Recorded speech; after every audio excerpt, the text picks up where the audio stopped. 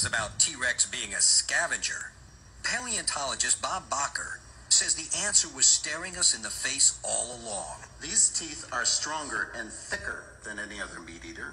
These are like uh, deeply penetrating lion fangs or bear fangs. These are, in fact, armor penetrating anti tank guns. One bite from this would kill any other dinosaur, including Triceratops. Now, as far as speed, T Rex has the longest hind legs for its body size, the longest hind legs of any animal that's ever existed. It's all head and leg, it's all running and biting, and nothing else. This animal, as big as an elephant, would be twice as fast. It could catch anybody. And if it could maneuver in the correct attack position, it could kill anybody with this array of armor piercing weapons.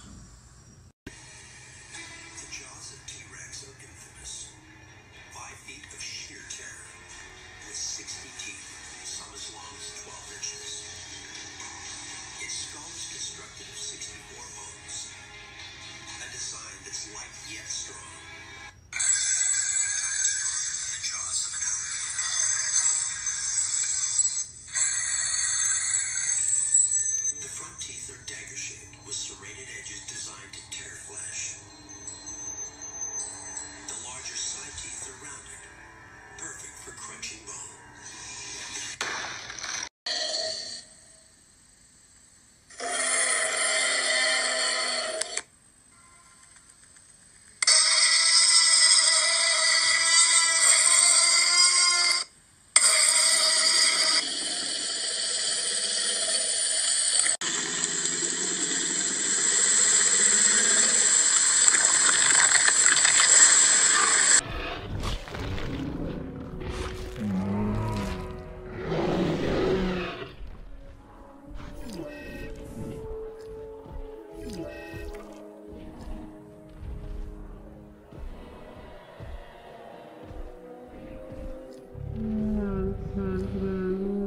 Like to learn more about any of the dinosaurs you see today, please keep an eye out for the information points located in the foyer circle.